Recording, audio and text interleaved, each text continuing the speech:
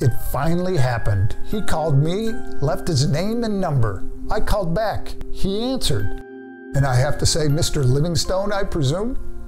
We worked together every week on Zoom and explored the dark side of the insurance business and won. Mr. Livingstone was awarded the maximum. Injured? Call me, Joe Stanley. And keep in mind, when we work together, we win.